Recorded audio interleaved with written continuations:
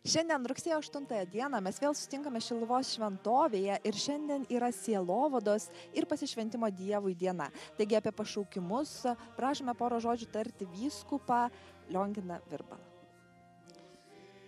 Yra gyvenime profesija, yra pašaukimas. Tai profesija gal to, tai, ką tuo metu darai ir gali pasikeisti, ar vienoje vietoje gal išvažiuoji dirbti vieną dalyką, kitą, kitoje kitą.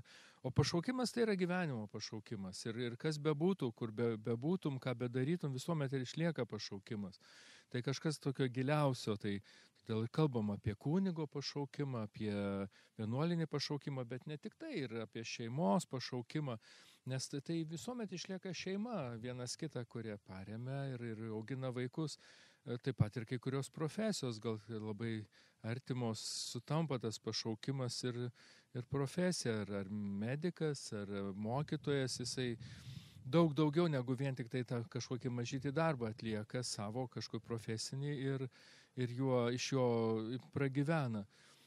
Tai gera proga e, ne tik tai tiem, kurie na, pirmučiausia susijęs su pašaukimu, kaip dvasiniai pašaukimai, bet ir kiekvienam atvykti, dalyvauti, melstis ir galvoti apie savo pašaukimą, savo gyvenimo kelią, savo gilų į pašaukimą, savo artimųjų, savo vaikų ar, ar pažįstamų kelią, e, nes ne vienas e, prašo, na, pasimelskit už mane, ieškau vietos gyvenime, noriu susivokti, kur mane viešpat šaukia.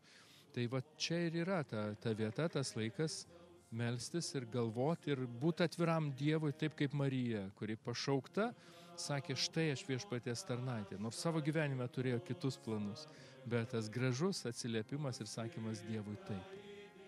Ačiū labai, tad kviečiame atvykti į Šiluvą ir draugę dalyvauti šilinių džiaugsme.